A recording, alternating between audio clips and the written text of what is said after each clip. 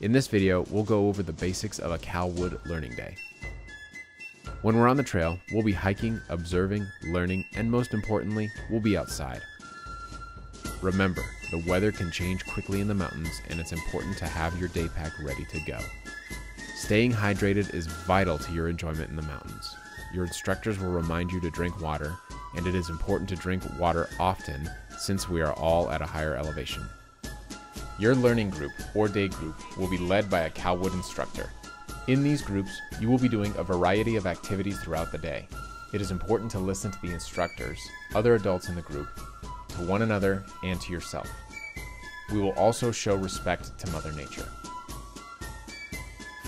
Some days you will be eating lunch on the trail. The sandwiches are delicious and there will be plenty of food to go around. Everyone will help carry the lunch and your group will be able to eat lunch at any location. Your time at Cal-Wood will be spent mainly in our outside classroom. We will follow the same rules as the ones at your school.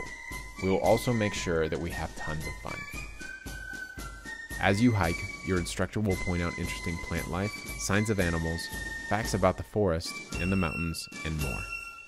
If you're quiet and observant enough, you might even have a chance to see the real thing.